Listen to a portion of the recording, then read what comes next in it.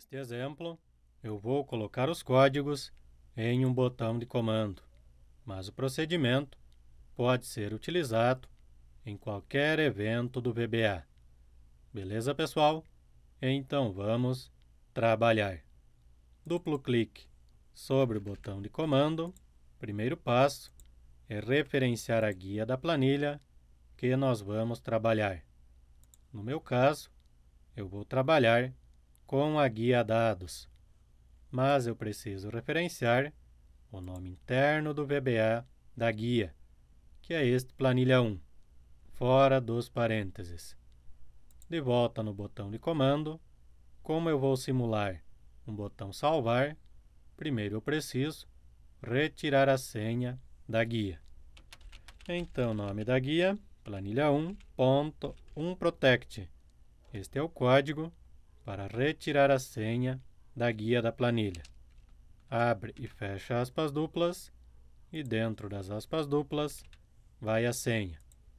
Eu posso também capturar a senha de uma célula da planilha Excel.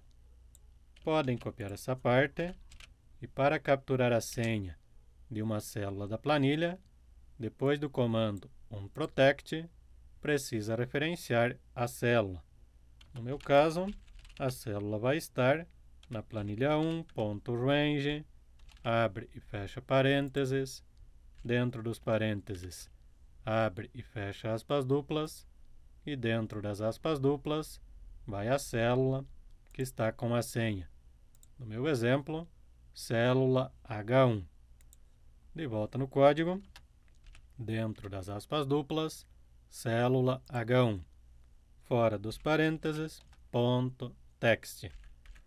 Eu vou trabalhar com a primeira forma.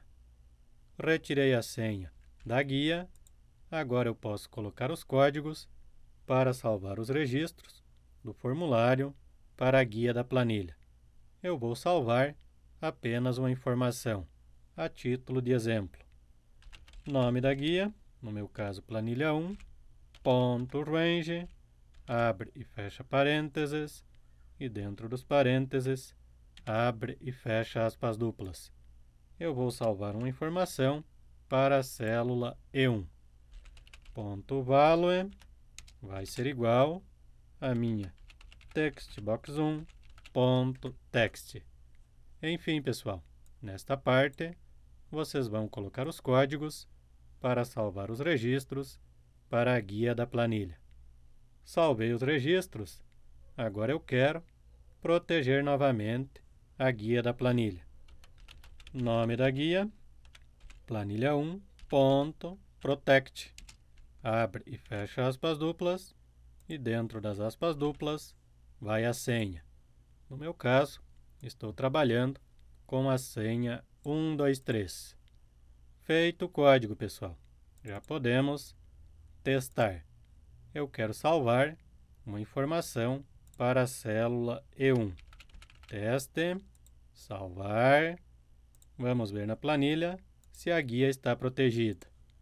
Duplo clique em qualquer célula, retorna a mensagem que a planilha está protegida.